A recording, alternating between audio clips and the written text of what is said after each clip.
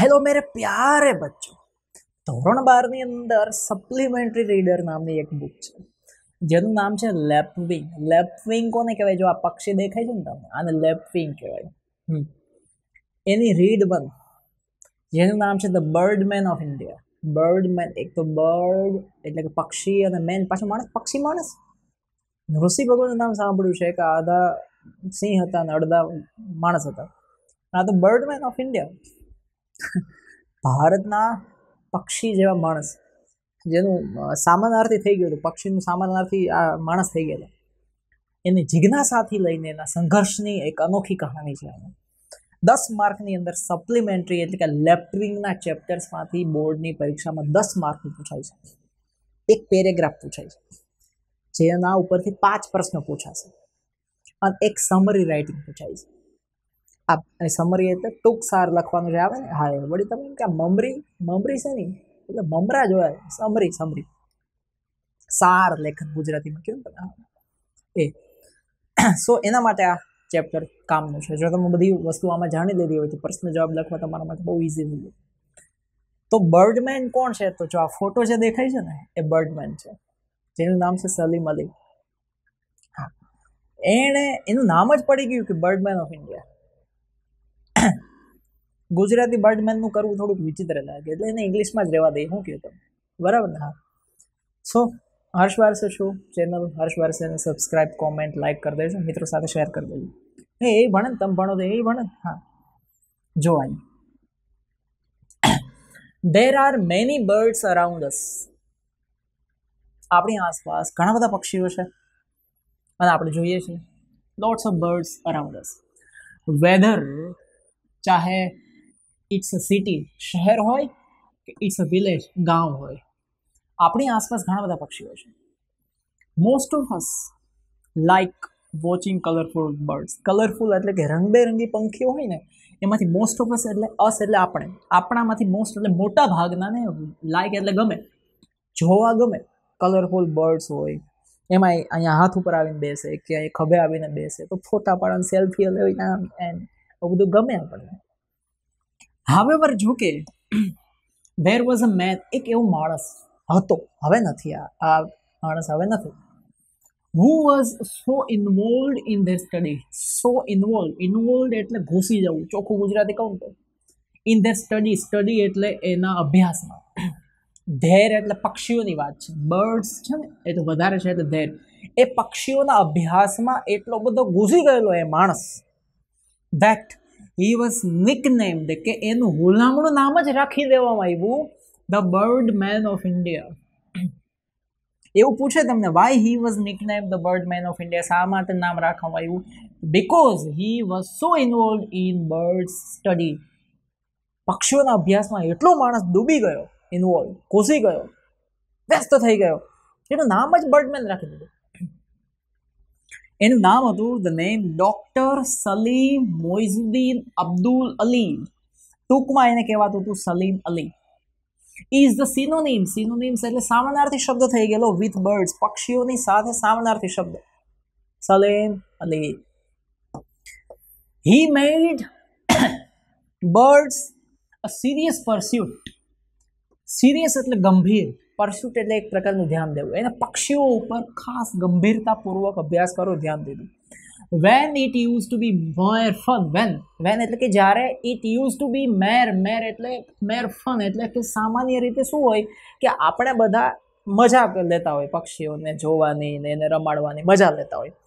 તો આપણે મજાકમાં બધી વસ્તુઓ સમજતા હોય ને આમણે ગંભીરતાપૂર્વક ધ્યાન દેવાનું શરૂ કર્યું પક્ષીઓમાં એનો અભ્યાસ કરવાનું શરૂ કર્યું. ફોર ધ મોસ્ટ આપણા માટે એ મજાની વાત છે. ખાલી જલસા આવે, આનંદ આવે, એટલે પક્ષીઓ સાથે રહેતા એને ખાલી આનંદ માટે નહીં, અભ્યાસ કર્યો. ઓરફંડ, જે પહેલો જ શબ્દ છે. ઓરફંડ એટલે શું? જેના મમ્મી નથી, અને જેના પપ્પાય નથી.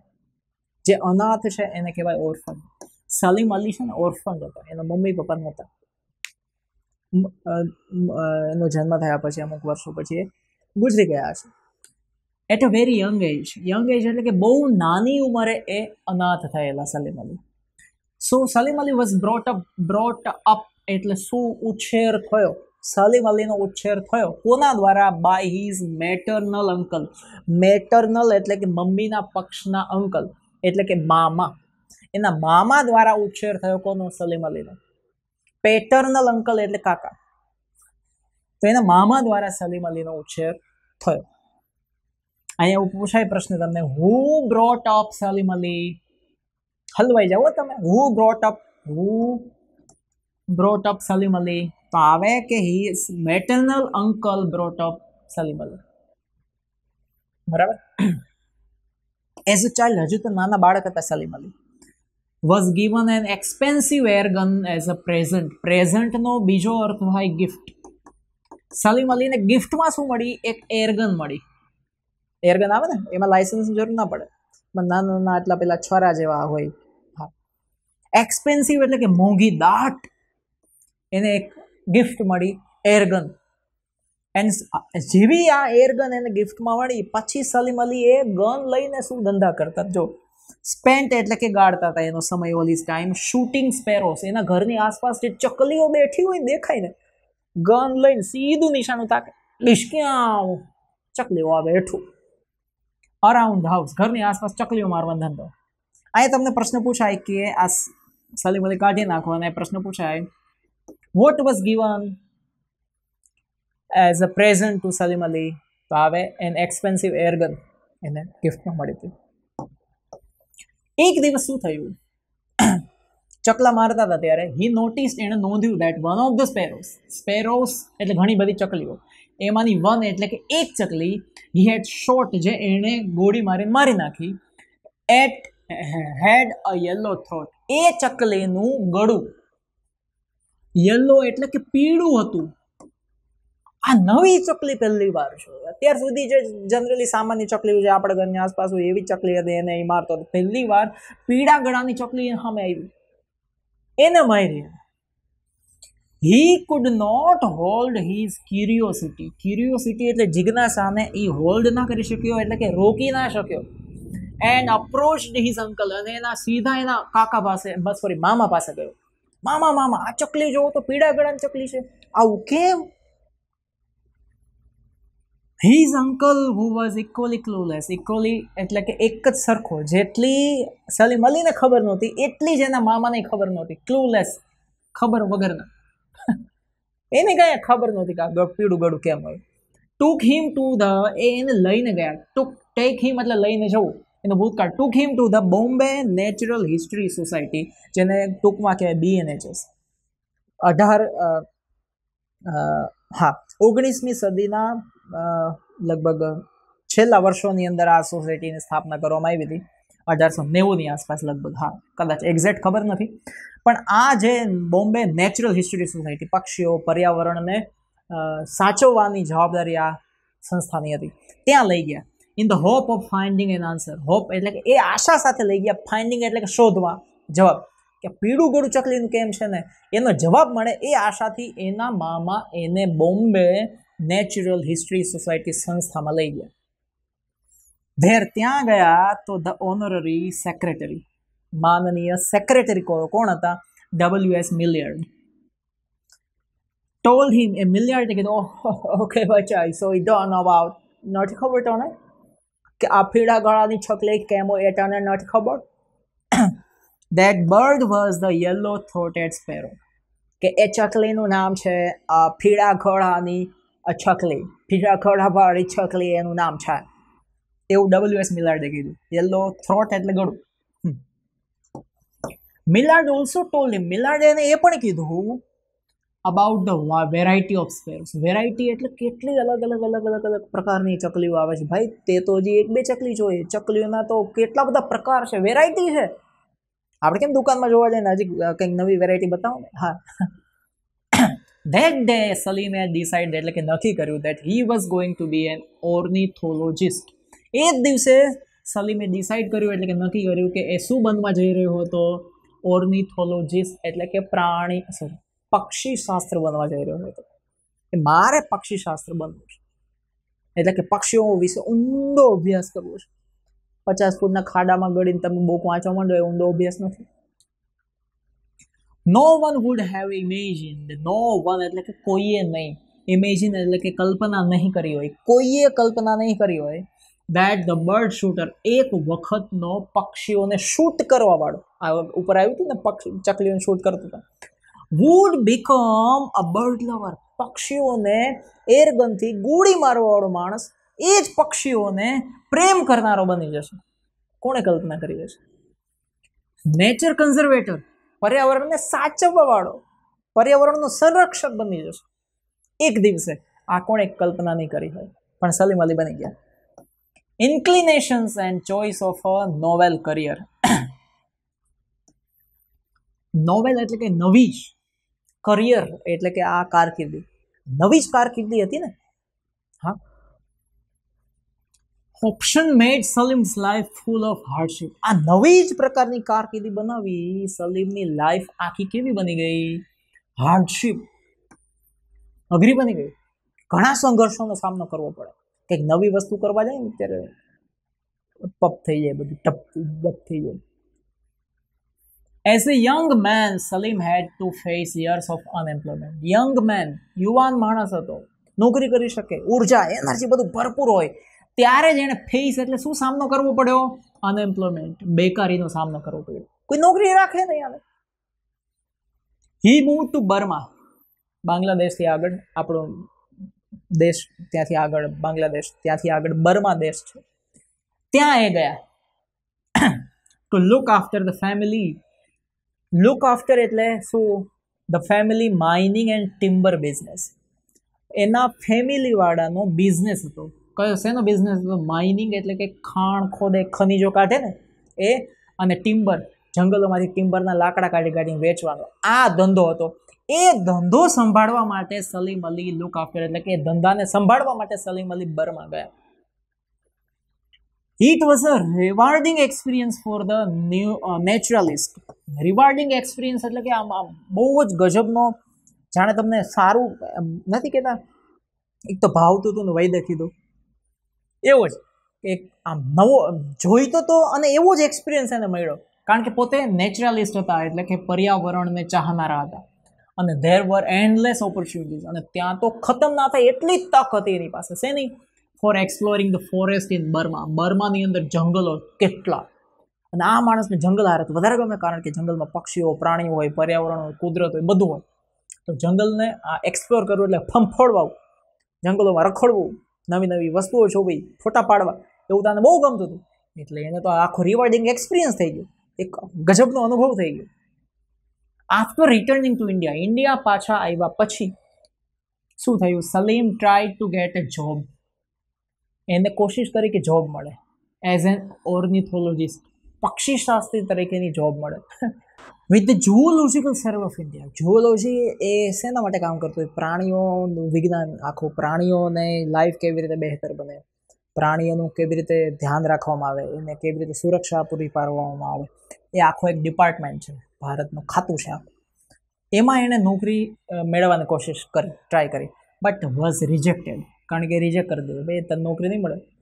શું કામે since he did not have a MSc or PhD degree એની પાસે એમએસસી એટલે માસ્ટર ઇન સાયન્સ અને ફિલોસોફી ઇન ડોક્ટરેટ આવી કોઈ ડિગ્રી હતી નહીં. એટલે ના પાડી દીધી. અહીંયા તમને એવો પ્રશ્ન પૂછાય why Salim was rejected as a ornithologist in zoological survey of India તો તમારો જવાબ આટલો જ લખી શકાય. Since he did not have a degree MSc and PhD degree નહોતી એની પાસે. So he decided to study further એટલે એણે નક્કી કર્યું કે હજી મારે ભણવું પડશે. હી ડિસાઇડેડ નક્કી કર્યું કે સ્ટડી ફર્ધર આગળ ભણવાનું નક્કી કર્યું. ટુ અક્વાયર એલિજિબિલિટી એલિજિબિલિટી એટલે શું? યોગ્યતા. પાત્રતા મેળવવા માટે. મને જે નોકરીમાંથી કાઢી નાખ્યો આ ડિગ્રી નથી, એ ડિગ્રી હવે મારે લઈને જ રહેવી છે for the job Salim went to Germany. Salim A degree લેવા માટે જર્મની ગયા. And got trained under professor Stresemann. ત્યાંના પ્રોફેસર હતા. એ પાછા એકનોલેજ એટલે કે બહુ જ જાણીતા ઓર્નિથોલોજીસ્ટ એટલે કે પ્રાણીશાસ્ત્ર હતા બર્લિન. જર્મનીનું શહેર છે બર્લિન. ત્યાંના એ બહુ જ જાણીતા પ્રાણીશાસ્ત્રી હતા. પક્ષીશાસ્ત્રી હતા સોરી એની અંદરમાં એની નીચે રહીને સલીમે ટ્રેનિંગ લીધી ખતરનાક ટ્રેનિંગ લીધી. હવે તો ભણીને જ પાર ઇન્ડિયા પાછળ જોબ શું ના મળે? However, when he came back to India, પાછા ભારત આવ્યા, he found that there were still hardly any opportunity in his profession. Profession એટલે વ્યવસાય. એ પક્ષીશાસ્ત્રી હતા. ભારત આવીને એને ખબર પડી કે હજી હાર્ડલી એટલે કે ભાગ્યે જ તક છે. મારા હું જે કરું છું ને એમાં મને નોકરી મેળવવાની ભાગ્યે જ મને તક મળશે. બાકી નહીં મળે. બહુ અઘરી છે. જો સંઘર્ષ જો તમે, આપણે તો એક પરીક્ષામાં નાપાસ થઈએ તો હારી જતા હોય. Another man would have given up હા ગીવ અપ એટલે શું? હારી જવું. અનધર મેન એની જગ્યાએ જો કે બીજો માણસ હોત ને, તો એ હારી ગયો હોત.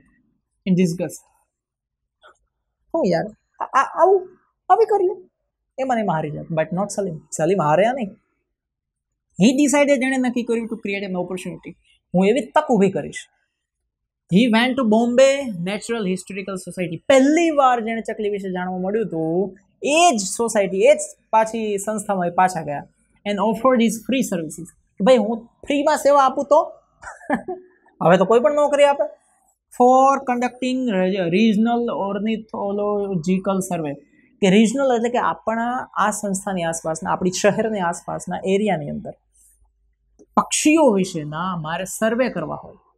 કે કેટલા કેટલા કેવા કેવા પક્ષીઓ છે, એના કલર કેવા છે, એનું ફૂડ કેવું હોય, એ માળો કઈ સિઝનમાં બાંધે છે, એના કલર રંગ કેવા દેખાય છે, એ સર્વે કરો અને હું તમને આપું તો ફ્રીમાં મારે પૈસા જ જોતા. તો કોઈ પણ માણસ રાખી લે, આવો. પછી સલીમ અલી શું કહે છે જો it is seldom one gets an opportunity in the life to do what one wants to do seldom એટલે ભાગ્યે જ. વન એટલે કોઈ પણ ગેટ્સ એન ઓપોર્ચ્યુનિટી કે એને તક મળતી હોય ઇન લાઈફમાં to do what one wants to do જેને જે કરવું હોય, એ કરવાની લોકોને એના જીવનમાં ભાગ્યે જ તક મળતી હોય. મોટા ભાગે લોકો બીજું જ કરી રાખતા હોય. તમે ગમે એને પૂછો પચાસ સાઠ વર્ષે શું કરો છો? તમારે આજ કરવું તો પહેલેથી ના યાર, મારો ગોલ તો બીજું મારું સપનું તો કંઈક બીજું હતું, પણ હવે આમાં શું કરું યાર? આવી ગયા લાઈફમાં આપણે જિંદગી જેન્ડબા ફિર બી ઘમંડબા. I think the best result are those when you are doing worthwhile result એના જ બેસ્ટ આવે. જ્યારે વેન એટલે કે જ્યારે you are doing something worthwhile કે તમે કંઈક એવું કરો કે જે કોઈના કામમાં આવે which you enjoy doing without the motivation of material reward material material reward એટલે શું? તો કે પૈસા. તમને પૈસા નથી મળતા. પૈસા મેળવવાની આશાય નથી. એના વગર તમે એન્જોય કરો છો તમારા કામને. કોઈ મોટિવેશનની જરૂર નથી. પહેલી મોટિવેશનની જરૂર નથી, જો અહીં લખ્યું છે હું સમજાવું તમને. મોટિવેશનની જરૂર નથી અને મટીરિયલ રિવાર્ડની જરૂર નથી. પૈસાનો, પૈસો છે ને સૌથી મોટું મોટિવેશન છે, કોઈ કીધું છે. સામે નોટ દેખાય ને એટલે માણસ ગમે એવું કામ કરવા તૈયાર થઈ જાય. પણ એ ના મળતો હોય છતાં તમે તમારા કામને એન્જોય કરતા હોય. તો એ સૌથી મોટું સારામાં સારું રિઝલ્ટ તમને આપે. કારણ કે તો એ કહેવાય કે તમે એની અંદર ઘૂસ્યા છો. It was his sincerity that won he many awards પછી તો શું છે, એ માણસ એટલો સિન્સિયર હતો કે એને ઘણા બધા એવોર્ડ મળ્યા. ઘણા બધા મેડલ મળ્યા. From all over the world આખી દુનિયામાંથી એવોર્ડ મળ્યા. ભારત સરકારે પણ કયા એવોર્ડ આપ્યા? પદ્મશ્રી અને Padma Vibhushan Salim Ali was true nature lover સાચા પ્રેમી હતા કુદરતના.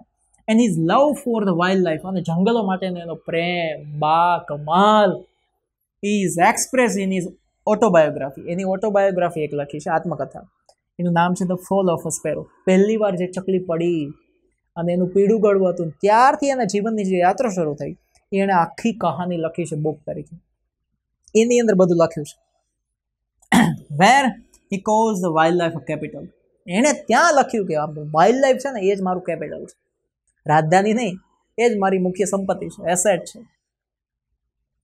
The interest on the capital must be used અને તમારો રસ એ કેપિટલમાં હોય, એ સંપત્તિમાં હોય, એ પ્રોપર્ટીમાં હોય, તો એનો ઉપયોગ થવો જોઈએ while leaving the capitals itself intact અને બાકી જો તમે એ સંપત્તિને, એ પ્રોપર્ટીને એમને છોડી દો, તો પછી કંઈ કામ નહીં રહે, નહીં. This is how I interpret wild life હું આવી રીતે વાઇલ્ડ લાઈફને સમજું છું. અને વાઇલ્ડ લાઈફ કન્ઝર્વેશન એટલે કે વાઇલ્ડ લાઈફના સંરક્ષણને હું આવી રીતે સમજું છું. એનો ઉપયોગ થવો જોઈએ. એન્ડ બિલીવ દેટ અને એવું માનું છું that future generation should enjoy the same fun with in that I had જેટલી મેં મજા કરી છે વાઇલ્ડ લાઈફ જંગલની લાઈફ પ્રાણીઓની લાઈફ પક્ષીઓની લાઈફ સાથે. એટલી જ આવતી પેઢીઓ પણ જો મજા કરવી હોય તો એને આવી જ રીતે સમજવું પડે. The birdman is survived by his books and birds that a small group of people used to enjoy birding and endeavor for the conservation of the wildlife. એ એ બર્ડમેન એટલે કે સલીમ અલીની લાઈફ ટકી કેવી રીતે ગઈ? કેવી રીતે જીવ્યા? બસ એને જે બુક્સ લખી પક્ષીઓ ઉપર. એ વેચાતી ગઈ. એમાંથી એને જે પૈસા મળતા ગયા છે. એનાથી એનું જીવન ચાલ્યું. And that small group of people નાના ગ્રુપ ઓફ પીપલ એટલે કે થોડા થોડા ઝુંડની અંદર જેટલા પણ લોકો હોય મારું ગ્રુપ હોય, તમારું ગ્રુપ હોય, એ આ પક્ષીઓની બુક વાંચતા હોય તો એ પણ બર્ડિંગને એન્જોય કરે, પક્ષીઓને એન્જોય કરે. એમાં એના ફોટા હોય, એની અંદર બધી માહિતી આપેલી હોય. અને એને કન્ઝર્વ કેમ કરવા, એને બચાવવા કેમ, એને જાળવવા કેમ, એની બધી માહિતી આપેલી હોય.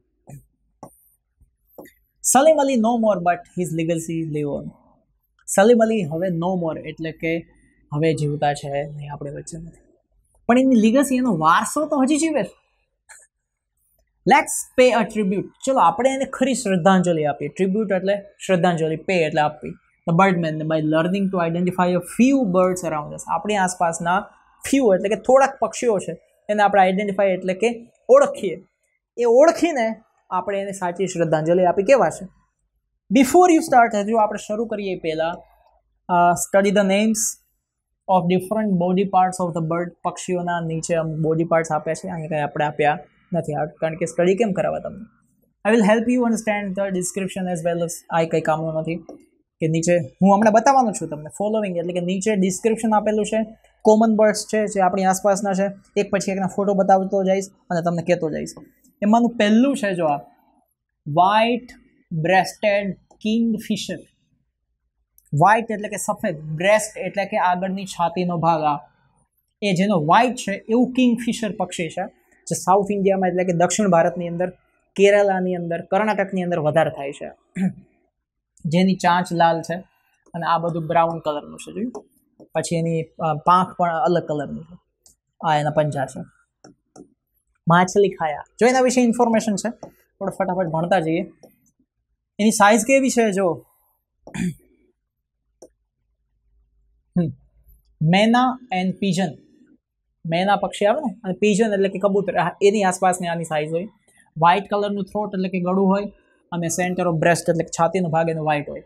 બ્રાઉન કલરનું હેડ મેં તમને કીધું, અને બાકીનો શરીર નીચેનો ભાગ એ બ્રાઉન કલરનો ક્યાં જોવા મળે પોન્ડ એટલે કે તળાવોમાં પડલ્સ એટલે કે નાના નાના પાણી ભરેલા ખાબોચિયા જેવા મોટા હોય ત્યાં, વરસાદથી ભરેલા ખાડાઓમાં ઇન ઇન અનડેટેડ પેડી મતલબ જ્યાં ચોખા વાવાતા હોય એમાં પાણી ભરેલું હોય એવા ખેતરોમાં અને શીશોર દરિયા કિનારાની આસપાસ.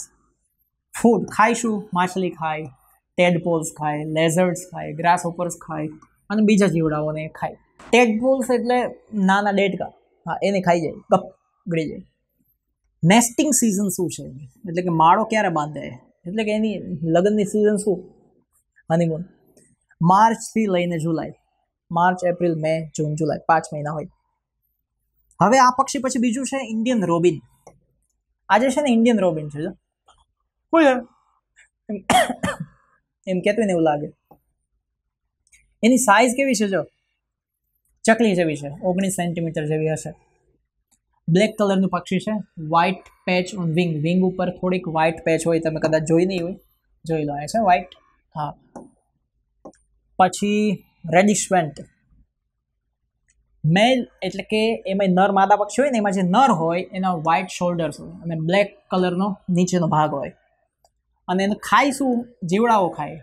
અને એના ઈંડાઓને ખાઈ જાય વોમ્સ એટલે કે કીડાઓને ખાય, કરોળિયાઓને ખાય. નેસ્ટિંગ સિઝન શું છે એમની? એપ્રિલથી જૂન હનીમૂન પીરિયડ એપ્રિલથી જૂન. પછી છે આ આઈ નથી એલ છે. લોરા લારા દત્તા હોય ને એવી રીતે. આ લોરા. આ લોરા પક્ષીનું નામ છે. એના વિશે ઇન્ફોર્મેશન જો આ તમે જો કાળું, પછી નીચેથી પીળું, એની પૂંછડી કાઢી છે. એના ઉપરથી ખબર પડે કે નર છે કે માદા છે. પછી જો તમે એના વિશે ઇન્ફોર્મેશન મસ્ત આપેલી છે. બ્લેક અને યલો કલરનું પક્ષી છે અને વ્હાઇટ કલરની બે વિંગ એટલે કે પાંખો હોય છે. મેલ અને ફિમેલ છે એ બેટર એટલે કે સારી રીતે ડિફરન્ટ એટલે કે ઓળખી શકાય એની પૂંછડી પરથી હવે જો અહીંયા લખ્યું છે crown and mantle of breeding males breeding એટલે ઉછેર થવો. જેનો માથાનો ભાગ અને પાછળનો પૂંછડાવાળો જે ભાગ છે, એ જેનો ડિફરન્ટ વેરી એટલે કે અલગ હોય. કોનાથી? બ્લેક ટુ બ્લેક આ ભાગે બ્લેક પાછળનો ભાગે બ્લેક એના કરતાં જે અલગ કલરના પક્ષીઓ જે છે, આ આ લોરા પક્ષીઓ, એનો બ્રીડિંગ એટલે કે એનો ઉછેર આખો અલગ રીતે કરવામાં આવે છે. ડિફરન્ટ રીતે. એનું ખાવાનું શું છે? જીવડાઓ. એના ઈંડાઓ ખાઈ જાય અને એની લાર લાર એટલે ઈયળ. ઈયળ આવે ને? હા, એની ખાઈ જાય. નેસ્ટિંગ સિઝન શું છે? એટલે કે માળો ક્યારે બાંધે? હનીમૂન પીરિયડ ચીફલી મે થી સપ્ટેમ્બર સુધી. પછી આ પક્ષી, પછી બીજું છે રેડ વેટલડ લેપવિંગ આ જેના ઉપરથી આ ટેક્સ્ટ બુકનું નામ છે લેપવિંગ જો આ લેપવિંગ છે. રેડ આ જો ચાંચ રેડ છે ને, એટલે. કે છે ને લેપિંગ આ તમે જોયે જ હશે. આપણા ગામડાઓમાં ઘણી બધી જગ્યા જોવા મળે, પાણીની આસપાસ, ખેતરોમાં. સાઇઝ કેટલી છે? પેટ્રીસ વિલેજ હેન જેટલી. હેન ખબર છે ને મરકી હા. બત્રીસથી પાંત્રીસ સેન્ટીમીટર બ્લેક કલરનું કેપ માથું હોય. બ્રેસ્ટ એ પણ બ્લેક કલરની હોય. રેડ બિલ લાલ કલરની બિલ એટલે ચાંચ હોય. અને બ્લેક ટીપ ટીપ એટલે પાછળની પૂછડી બ્લેક હોય. અને યલો કલરના ટાંગા હોય એના. ખાઈશું જીવડાઓ. ગ્રબ્સ ગ્રબ્સ એટલે ખબર છે? ગ્રબ્સ એટલે નાના નાના જીવડાઓ. નેસ્ટિંગ સિઝન એટલે કે માળો ક્યારે બાંધે? માર્ચથી ઓગસ્ટમાં. It is one of the rare birds that lay eggs on ground ઘણા ઓછા પક્ષીઓ એવા છે જે ગ્રાઉન્ડમાં ખુલ્લા ગ્રાઉન્ડમાં ઈંડા મૂકે. એમાંનું એક પક્ષી આવે છે, ખુલ્લા ગ્રાઉન્ડમાં ઈંડા મૂકે છે આ. પેડી બર્ડ અથવા પોન્ડ હેરન બેમાંથી કોઈ પણ નામ તમે આને કહી શકો. ખેતર પક્ષી છે ખેતરોમાં વધારે જોવા મળે. એનો કલર જ એવો છે જો. દેખાય જ નહીં જલ્દીથી. છે? સાઇઝ જો એની. સ્મોલર ધેન કેટલ કેટલ એટલે ઢોર. ગાય, ભેંસ, બળદ એ. એના ઉપર ઇગ્રેટ ઇગ્રેટ એટલે બગલા. ઢોર બગલા હોય ને, ઢોર ઉપર બેસીને એના જેવડા ખાતા હોય.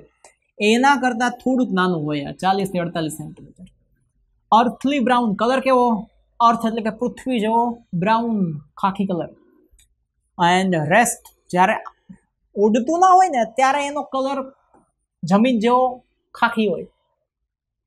With but with the glistening white wings પણ જ્યારે ઉડે, ત્યારે એકદમ ચમકતી સફેદ પાંખો દેખાય તમને. Tail and rump flashing when it's flies બધું ચમકતું વ્હાઇટ જેવું થઈ જાય. ઉડે ત્યારે. ફૂડ ફ્રોક્સ ખાય દેડકા ખાય. ફિશ ખાય. માછલી ખાય. ક્રેપ્સ કરશલા ખાય. અને ઇન્સેક્ટ એટલે જીવજંતુઓ ખાય. માળો ક્યારે બાંધે? મે થી સપ્ટેમ્બર સુધીમાં. એના પછીનું પક્ષી છે રાઈવ ટેણ. શું પક્ષી છે? રાઈવ ટેણ. જે આ પક્ષી છે રાઈવ ટેણ, જોયું? જાણે આપણે બોલાવ્યું ને ધગી ના ગયું હોય? હે, હું રાયવ ટેણ. સાઈઝ જો એની. ક્રો સાઈઝ એટલે કે કાગડા જેવી સાઈઝ હોય. આડત્રીસથી છેતાલીસ સેન્ટીમીટર ઓરેન્જ કલરનું યલો કલરની ઓરેન્જ અને યલો કલરની એની બિલ એટલે ચાંચ હોય. બ્લેક કલરની કેપ હોય અને ગ્રે કલરનો બોડીનો નીચેનો ભાગ હોય. ખાઈશું ફિશ ખાય પ્રોન્સ ખાય સ્વિમિંગ તરતા કરચલાઓને ખાઈ જાય. પછી નેસ્ટિંગ સિઝન શું? મેથી લઈને જૂન સુધી. અહીંયા પ્રોન્સ લખ્યું છે ને? પ્રોન્સ એટલે થાય ઝીંગા. ઝીંગા લાલા, હું હું હું ઝીંગાને ખાઈ જાય. પછી બ્રોન્ઝ વિંગડ ઝેકાના. બ્રોન્ઝ કલરની જેની વિંગ એટલે કે પાંખો છે, જો બ્રોન્ઝ એટલે તાંબા જેવા કલરની પાંખો છે. એવું આ ઝેકાના પક્ષી છે. ચાલ મસ્ત. કાંઈ જાણે કોઈ ફોટો પાડવો એમ ઊભું તો. સાઇઝ જો એની ઇક્વલન ટુ વિલેજ છે. ગામની જે મરઘીઓ હોય એવી અઠ્યાવીસથી એકત્રીસ સેન્ટીમીટર ઉપરથી ડાર્ક કલરની પાંખ હોય અને અંડર એટલે કે નીચેની પાંખ હોય ડાર્ક હોય. અને બ્રોન્ઝ ગ્રીન તાંબા કલરની અને લીલા કલરની અપર બોડીનો પાર્ટ હોય ઉપરના શરીરનો. અને બ્લેકિશ અંડર પાર્ટ અને બ્લેક કલરનો નીચેનો ભાગ હોય. શું ખાય? સીડ્સ ખાય, દાણાઓ ખાય. રૂટ કંદમૂળ ખાઈ જાય. નેસ્ટિંગ સિઝન શું? માળો ક્યારે બાંધે? જૂનથી સપ્ટેમ્બર. મોટા ભાગે પક્ષીઓ જૂનથી સપ્ટેમ્બરમાં આવી ગયા. ઇન્ડિયન રોલર છે આપણે બ્લુ જે જેને કહેવાય. ઇન્ડિયન રોલર આ જે છે ને ઇન્ડિયન રોલર અને આપણે જાણે આનો બાપ માર્યો, એમ આપણે સામે જોવો જાતો. જો, આંખ પગ આમ ઉપર. હવે શું છે? કાંઈ નથી ભાઈ. સોરી માફ કરો. સાઇઝ જો પીજન એટલે કે કબૂતર જેવી સાઇઝ છે. તેત્રીસ સેન્ટીમીટર હા રફ રફ્યુસ બ્રાઉન આ ધૂળ જેવો બ્રાઉન કલર હોય એનો. ઓન નેપ એટલે કે આ આ ભાગ ગળાનો. એના અંડર નીચેનો ભાગ જે છે એનો શરીરનો વ્હાઇટ સ્ટીકિંગ ઓન ઇયર કાનથી લઈને જો આ બતાવું તમને કન્વર્ટ થ્રોટ સુધી. આ આ જે ભાગ છે ને, આ એનો વ્હાઇટ છે, જોયું? આખો આખો વ્હાઇટ શું ડિઝાઇન બનાવી છે ભગવાને? એ વ્હાઇટ કલર છે. અને ગ્રીન કલરનું એનું પાછળની આખું પીછા બધા હોય ને, એ ગ્રીન કલરના હોય. શું ખાય? જીવડાઓ ખાય. ક્યારે માળો બાંધે? ફેબ્રુઆરી, માર્ચ, બે મહિના. પછી પછી લગ્ન બગન નહીં કરવાનું. એકલા રખડવાનું. તો આ સાથે આપણે આ બધું પૂરું કરી દીધું. બર્ડમેન ઓફ ઇન્ડિયા સલીમ અલીને આપણે ભણી લીધો. અને આના ઉપરથી તમને પાંચ માર્કના પ્રશ્નો પૂછાય. અને ના પૂછાય તો પાંચ માર્કની સમરી પણ આવી શકે. તો એ તમારે ધ્યાનમાં રાખવાનું. વધારે સમય નથી લેતો કારણ કે ઘણો બધો સમય થઈ ગયો છે. હે, જોઈ લો એક મિનિટ ઓહ, ઘણો બધો સમય થઈ ગયો છે. કંઈ વાંધો નહીં. એક ચેપ્ટર આપણે સક્સેસફુલી પૂરું કરી દીધું. તમને ખબર પડી જ ગઈ હશે આની અંદર. સો લેપિંગના ઘણા બધા ચેપ્ટર અહીંયા આવતા રહેશે. અને એના પ્રશ્ન જવાબ આપણે મૂકશું અહીંયા. વિડીયોની ધોકા ધામ બોલાવી દેશું. તમારું બારમું ધોરણ તો ચકાચક બનાવી દેવાની ગણતરી છે. અને બનાવી જ દઈશું. તમારો સાથ, મારો સાથ, સબકા સાથ, સબકા વિકાસ. ના ના, કોઈ પોલિટિક્સની વાત નથી. સો આપણે ભણતા રહીશું, આગળ વધતા રહીશું, હર્ષ બારસે રહીશું અત્યારે તમારાથી વિદાય લઉં છું. જય હિન્દ, જય ભારત, જય જય ગરવી, ગુજરાત.